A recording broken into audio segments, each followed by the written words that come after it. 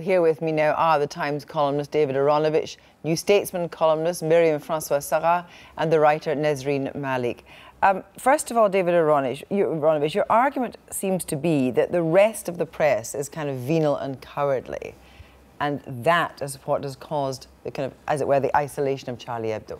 Yeah, I think we've been I think we've been scared, and actually, uh, if you were to get any group of senior journalists in one room and they were talking openly, they would say that they have uh, dodged the issue of the representation of Mohammed uh, in the way that they would represent just about anybody else and any other thing, uh, partly because they don't want to give offence, which is one kind of a reason, but also in the end when it was justified because they were scared of the potential repercussions. And that's why we don't have um, the Book of Islam, we don't have Monty Python's Life of Ahmed, uh, we don't have Mehdi Hassan the opera, we don't have any of those things because it's actually felt to be too dangerous for people to represent uh, a satire on Islam and Islam's prophet. This is one of the great world religions and should be more open for satire than most institutions on earth, etc. And we don't do it because we're scared. And that means that when somebody does do it,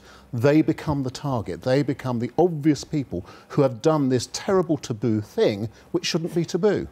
Myriam. Yeah, I'd love to come back on that. I mean, before I come back to that point, I just want to talk about the report that we heard earlier because discussing this in terms of immigration is really problematic. I mean, both Said and his brother Cherif Kouachi are both French citizens. They may hark back to Algeria in terms of their origin, but they are French citizens. And discussing them ter in terms but of immigration suggests an otherness which is not the I issue. I understand, but this is not the, the argument we, at, at, point just now. The argument at point what, just now yes, is whether or not yeah. uh, the, the response of the British press in not showing the cartoon has made the British press somehow complicit and cowardly.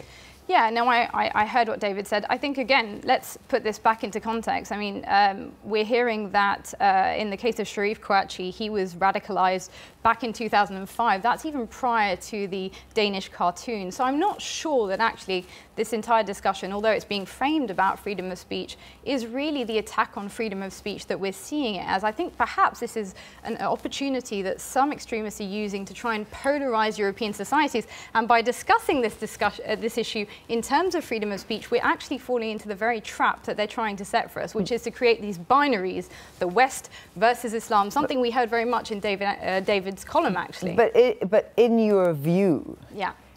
is satirizing Islam in the way that it is satirized by Charlie Hebdo acceptable or not?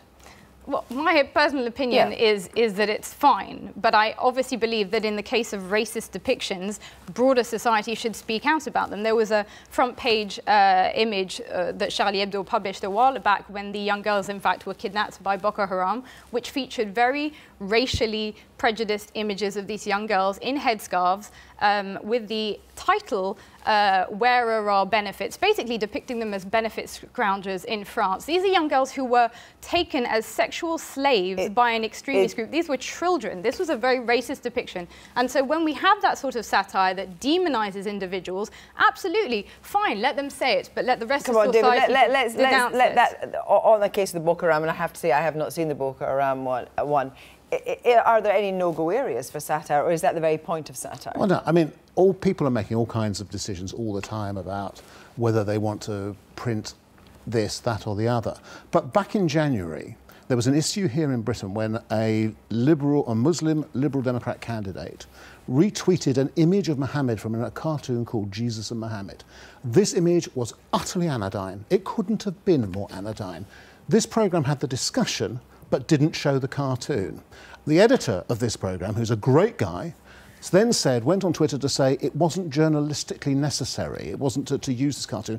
And as a consequence, it, nobody knew what, what, the cartoon was. Is there now, a danger of self That's the problem. Is there a no, danger of self-censorship? I actually agree with David there that there is, I think we're conflating two different types of depictions.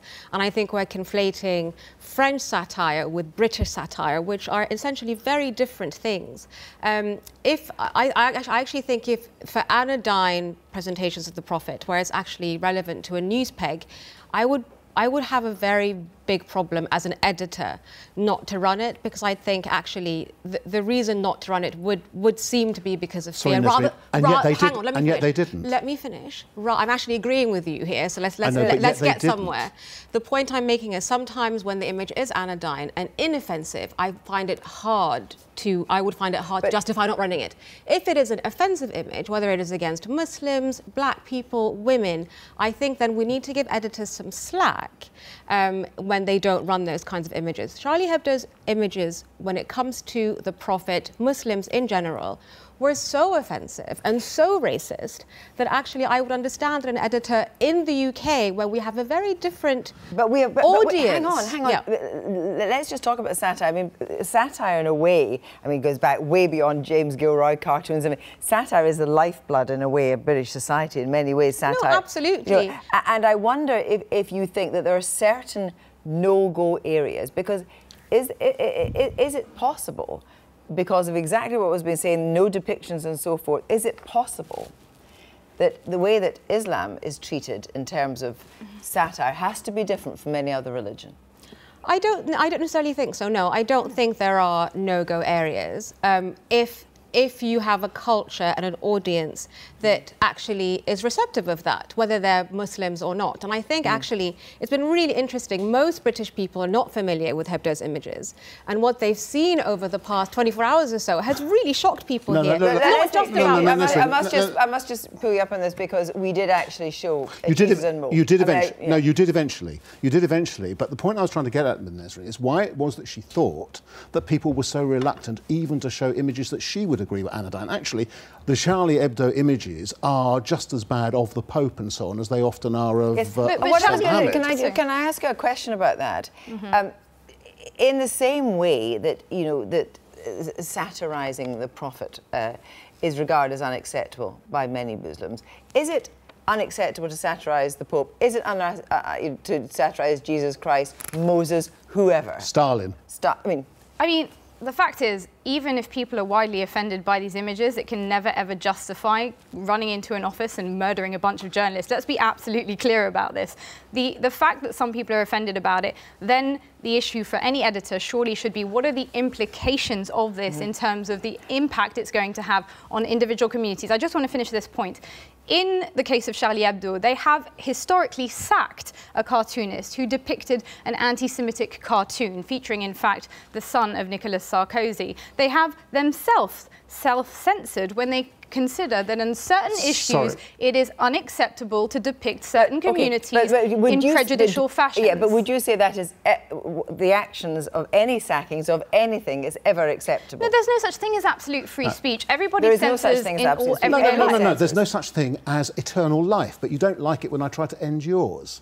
I mean, this notion isn't we want as much it. free speech as we can possibly But get. So we- stop trying to limit everybody's free speech by saying there So- are so limits to free think- There are limits to free speech. Now, the question that I was Well, raising. let- let- just before we, we've run out of time, and I want to come back to what Ian McEwan said. It was what has happened now has implications for free speech. Do you agree with that? I don't agree with that whatsoever. I think actually that David has an axe to grind vis-a-vis running prophet images full stop in the UK, which is a valid argument that needs to be had separately and not piggybacked onto the Paris attacks, which I think it's are the actually very same. different. It's the same thing, The- Nesrine, and it Sorry, is they- the, exactly the same. I form don't- of, I think- form I don't think it- internal it self-censorship doesn't and intimidation. There are I'm serious afraid I'm going to have to implications. stop. They're We- on social cohesion. We will come back to this. I, I, you know, we should just be open-ended tonight, discuss this for the next half hour, but we can't.